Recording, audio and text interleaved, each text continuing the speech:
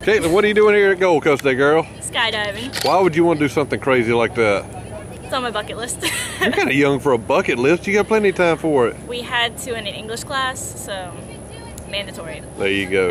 All right, hon. Where are you from? Slidell. Oh, just down the road. Mm-hmm. Well, here in just a few minutes, Otter's going to come back down. We're going 14,000 feet above Lumberton, Mississippi. I don't And, know. and then we're jumping out.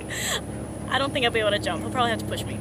We'll, we'll get you out one way or the other. exactly. Then we're going to scream at the ground at 120 miles an hour. Oh God. Is that a good idea? Yeah.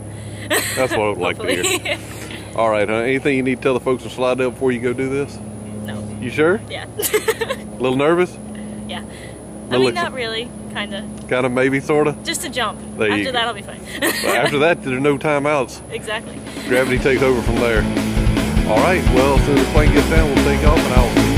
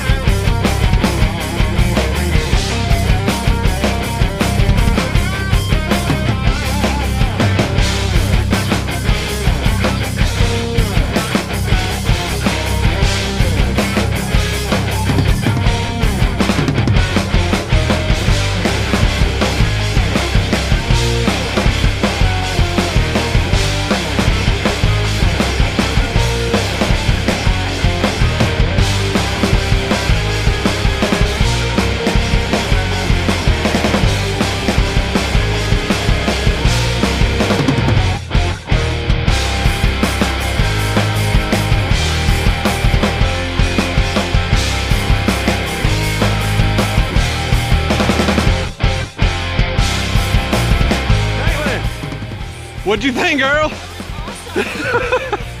you just jumped off airplane, huh? I And you brought Martin back.